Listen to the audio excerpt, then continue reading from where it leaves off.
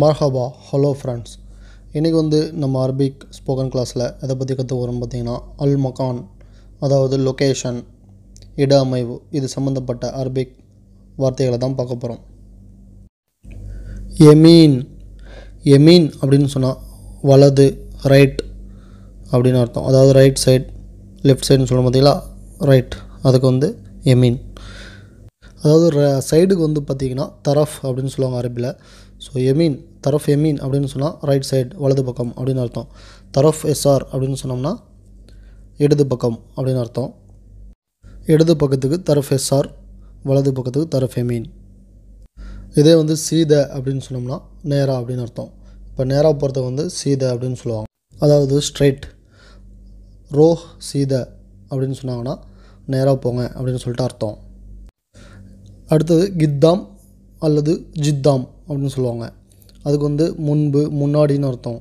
So front side ஃப்ரண்ட்டுக்கு வந்து பார்த்தீங்கன்னா கித்தாம். அப்படி இல்லைன்னா ஜித்தாம் அப்படின்னு சொல்லலாம். ஓரா ஓரா அப்படின்னு சொன்னால் பின்னால் பேக் சைடு பேக் சைடுக்கு வந்து பார்த்திங்கன்னா பின்னால் பின்பக்கத்துக்கு வந்து பார்த்திங்கன்னா ஓரா அப்படின்னு சொல்லுவாங்க. எக்ஸாம்பிளுக்கு சொல்லணும்னு பார்த்தீங்கன்னா ரோஹ் ஓரா. ரோஹ் ஓரா அப்படின்னு சொன்னால் பின்னால் போங்க அப்படின்னு அர்த்தம். ரோஹ் ஜித்தாம் அப்படின்னு சொன்னால் முன்னால் போங்க அப்படின்னு அர்த்தம். அலத்தூள் அதாவது அலத்தூள் அப்படின்னு சொன்னோம்னா இமிடியேட் உடனடியாக அப்படின்னு சொல்கிறோம் பார்த்தீங்களா? உடனே உடனே போங்க உடனே நடக்கணும் உடனே ஏதாவது நீங்கள் செய்யணும் அப்படின்னு சொன்னீங்கன்னா அலத்தூள். ஃபார் எக்ஸாம்பிள் ரோஹ் அலத்தூள் அப்படின்னு சொன்னால் உடனே போங்க அப்படின்னு சொல்லிட்டு அர்த்தம். எரித் அலத்தூள் அப்படின்னு சொன்னோம்னா உடனே எனக்கு வேணும் அப்படின்னு அர்த்தம். ஸோ இந்த அலத்தூள் வந்து இந்த மாதிரி வேர்ட்ஸ் எல்லாத்துக்கும் வந்து யூஸ் பண்ணுவாங்க. உடனே எனக்கு நடக்கணும் உடனே வேணும் உடனே போடணும் உடனே செய்யணும். இது எல்லாத்துக்கும் வந்து பார்த்திங்கன்னா இந்த மாதிரி வேர்ட்ஸ்லாம் அலத்தூள் அப்படின்னு தான் சொல்லுவாங்க. பர்ரா பர்ரா அப்படின்னு சொன்னால் வெளியே. ஸோ வெளியேக்கு வந்து பார்த்திங்கன்னா பர்ரா அவுட் சைடு அதாவது அவுட் அவுட் சைடுக்கு வந்து பார்த்திங்கன்னா பர்ரான்னு சொல்லுவாங்க.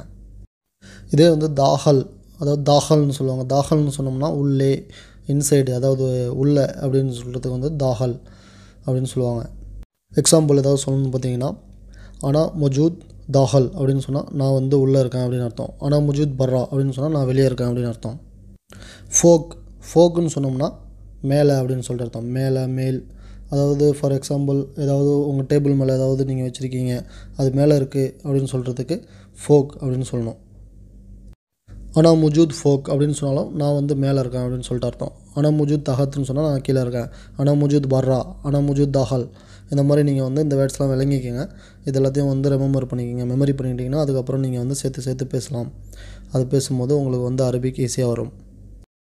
இதை தகத்துன்னு சொன்னோம்னா கீழே. தகத் ஃபோக்குனா மேலே தகத்துனா கீழே. கீழ் கீழே. இது எல்லாத்தையும் வந்து தகத்துன்னு சொல்லுவாங்க. பைன் அதாவது பைன் அப்படின்னு சொன்னோம்னா ரெ- இரண்டுக்கு இடைப்பட்ட ஒரு பகுதி தான் பைன்னு சொல்லுவோம். அதாவது ஒரு ரெண்டுக்கும் இடைப்பட்ட நடுப்பகுதி பெட்வீன் சொல்லுவோம் பார்த்தீங்களா இங்கிலீஷில். இடையில் தமிழில் இடைப்பட்ட அப்படின்னு சொல்லுவாங்க. அதுக்கு வந்து பார்த்திங்கன்னா பைன் அப்படின்னு சொல்லுவாங்க அரபியில் அதாவது அரபியில் வந்து மா அப்படின்னு சொன்னால் வித். அப்படி இல்லைன்னா வியா அப்படின்னு சொன்னாலும் வித்து தான். ஸோ அந்த வித்துன்னு இங்கிலீஷில் சொல்கிறோம் பார்த்தீங்களா அதாவது தமிழில் சொன்னோம்னா உடன் கூட அப்படின்றதுக்கு வந்து பார்த்திங்கன்னா ஒன்று மான்னு சொல்லுவாங்க இல்லைன்னா வியான்னு சொல்லுவாங்க. ஸோ பேச்சு வழக்கத்தில் பேச்சு வழக்கு அரபியில் வந்து அது எப்படி சொல்லுவாங்கன்னா மேக் அப்படின்னு சொல்லுவாங்க மேக். இதே பிதூன் அப்படின்னு சொன்னோம்னா வித்தவுட் வித்தவுட் வித்தவுட்டுக்கு வந்து பார்த்திங்கன்னா பிதூன். அது பிதூன் சொல்லுவோம் ஃபார் எக்ஸாம்பிள் எப்படி சொல்கிறோம் அதாவது ஒரு டீ கடைக்கு போகிறீங்க டீ கேட்குறீங்க ஸோ சுகர் எனக்கு வந்து வித்து சுகர் வித்தவுட் சுகர்னு சொல்கிறோம் பார்த்தீங்களா அதுக்கு வந்து அரபியில் எப்படி சொல்லணும் பார்த்தீங்கன்னா மா சுகர் அப்படின்னு சொன்னீங்கன்னா சுகர் எனக்கு சுகரோட வேணும் அப்படின்னு அர்த்தம். இதே வந்து பிதுன் சுகர் அப்படின்னு சொன்னீங்கன்னா எனக்கு சுகர் இல்லாமல் வேணும் அப்படின்னு அர்த்தம். ஸோ இந்த மாதிரி இதை புரிஞ்சுக்கோங்க. மின் மின் அப்படின்னு சொன்னால் ரெண்டு மீனிங் இருக்குது ஒன்று யார் அப்படின்னு கேட்குறதுக்கு மின்னு தான் சொல்லுவாங்க. ஸோ ஃபிரம் ஃபிரம் இருக்குது பார்த்தீங்களா அதுக்கும் வந்து மின் தான். ஸோ மின் மெயின் ஈஜி அப்படின்னு கேட்டால் நீங்கள் எங்கேருந்து வரீங்க அப்படின்னு அர்த்தம். அதாவது இந்த சென்டென்ஸ்க்கு தகுந்த மாதிரி பொருள் மாறும் வேறுபடும். மின் இந்த அப்படின்னு சொன்னால் நீங்கள் யார் அப்படின்னு அர்த்தம்.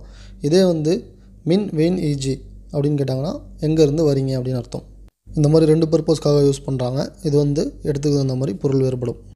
அதாவது கிபல் கிபல்னு சொன்னோம்னா பிஃபோர் அப்படின்னு அர்த்தம். அதாவது முன்பு முன்னாள் ஃபார் எக்ஸாம்பிள் பிஃபோர் பிஃபோர் இங்கிலீஷில் உங்களுக்கு தெரியும். தமிழில் வந்து பார்த்திங்கன்னா முன்புக்கு ரெண்டு மீனிங் இருக்குது ஸோ அதனால் வந்து கன்ஃபியூஸ் பண்ணிக்காதீங்க. கிபிள் ஒன் அப்படின்னு சொன்னோம்னா பிஃபோர் அப்படின்னு அர்த்தம்.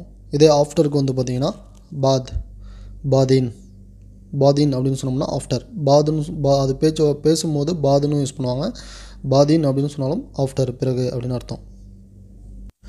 ஃபீ அப்படின்னு சொன்னோம்னா உள்ளே இருக்குது ஃபார் எக்ஸாம்பிள் இப்போ உங்ககிட்ட ஒன்று இருக்குது அப்படின்னு சொன்னால் ஃபீன்னு சொல்லணும் அந்த பேசும்போது அந்த சென்டென்ஸில் வந்து பார்த்திங்கன்னா இது வரும் நடுவில். ஃபீ அப்படின்னு சொல்லணும் இன்னும் புரிகிற மாதிரி சொல்லணும் அப்படின்னு பார்த்தீங்கன்னா உங்ககிட்ட யாராவது ஒரு பொருள் ஒன்று எங்கே இருக்குது அப்படின்னு கேட்டாங்கன்னா நீங்கள் வந்து ஃபீ தாஹல் பேத் அப்படின்னு சொல்லணும். ஃபீ தாஹல் பேத் அப்படின்னு சொன்னால் வீட்டில் இருக்குது அப்படின்னு அர்த்தம். மோஜூத் அப்படின்னு சொன்னாலும் இருக்குன்னு அர்த்தம். ஃபீன்னு சொன்னாலும் இருக்குன்னு தான் அர்த்தம். இது தக்ரீபன் தக்ரீபன் அப்படின்னு சொன்னோம்னா குத்து மதிப்பா அப்படின்னு சொல்கிறோம் சொல்லுவாங்க இல்லைங்களா? அதுக்கு வந்து தக்ரீபன். ஃபார் எக்ஸாம்பிள் உங்ககிட்ட யாராவது கா எவ்வளோ காசு இருக்குன்னு கேட்குறாங்க நீங்கள் வந்து சொல்கிறீங்க தக்ரீபன் அஷரப் மஜூத் தக்ரீபன் இசைன் திரஹம் மஜூத் அந்த மாதிரி. ஸோ இந்த மாதிரி இடத்துல அதை யூஸ் பண்ணலாம். சோப். சோப் அப்படின்னு சொன்னோம்னா நெக்ஸ்ட்டுன்னு சொல்கிறோம் பார்த்தீங்களா அடுத்தது அடுத்து. பிஃபோர் ஆஃப்டர் வேறு சோப் நெக்ஸ்ட்டு வேறு. ஸோ இதுக்கு வந்து நெக்ஸ்ட்டுக்கு வந்து சோப் அப்படின்னு சொல்லுவாங்க. வசத். வசத் அப்படின்னு சொன்னோம்னா அதாவது மிடில் நடு நடுவில் அப்படின்னு சொல்கிற தமிழில்? அது வந்து அதுக்கு வந்து பார்த்திங்கன்னா அரபியில் எப்படி சொல்லுவாங்கன்னா வசத். அடுத்தது சுறா. சுறான்னு சொன்னால் வேகமாக வேகம். ரோ சுறா அப்படின்னு சொல்லுவாங்க. ஸோ வேகமாக போங்க அப்படின்னு அர்த்தம். இதே சரியா அப்படின்னு சொன்னாலும் வேகம் தான் அர்த்தம். சரியா அல்லது சுறா. இதே ஸ்லோவாக மெதுவாக அப்படின்னு சொல்கிறது வந்து பார்த்திங்கன்னா அரபியில் ஷொய்ய அப்படின்னு சொல்லுவாங்க. அப்படி இல்லைன்னா பத்தி அப்படின்னு சொல்லுவாங்க. பத்தி. ஷொய்ய அல்லது பத்தி. ஆல்ரைட் இப்போ இது கூடவே வந்து பார்த்திங்கன்னா நீங்கள் கிழக்கு மேற்கு தெற்கு வடக்கு இதையும் வந்து தெரிஞ்சு வச்சுக்கோங்க. ஸோ ஷர்க் ஷர்க்குன்னு சொன்னால் ஈஸ்ட்டு கிழக்குன்னு அர்த்தம். ஷர்க் இது கர்ப் கர்ப் அல்லது கர்பியா அப்படின்னு சொன்னால் மேற்குன்னு அர்த்தம். அதாவது வெஸ்ட்டு ஷமால் ஷமால்னு சொன்னால் வடக்கு நார்த் ஷமால். ஜனூப் ஜனூப் அப்படின்னு சொன்னால் தெற்கு அதாவது சவுத் ஜனூப். ஓகே ஃப்ரெண்ட்ஸ் இன்றைக்கி இந்த அரபிக் லெசனில் வந்து பார்த்தீங்கன்னா உங்களுக்கு ரொம்ப யூஸ்ஃபுல்லாக இருக்கும்னு நம்புகிறேன் இந்த வேர்ட்ஸ் எல்லாமே. ஸோ இது எல்லாமே வந்து நீங்கள் படிக்கிறது மட்டும் இல்லாமல் மெமரியில் ஞாபகம் வச்சுக்கோங்க. அப்போ தான் வந்து ஈஸியாக உங்களுக்கு வந்து அரபி பேசுகிறதுக்கு ஈஸியாக இருக்கும். ஓகே மீண்டும் இதேமாரி ஒரு யூஸ்ஃபுல்லான வீடியோவில் சந்திக்கிறேன். நன்றி. அஸ்லாம் வலைக்கம் ஷுக்ரன் மாசலாமா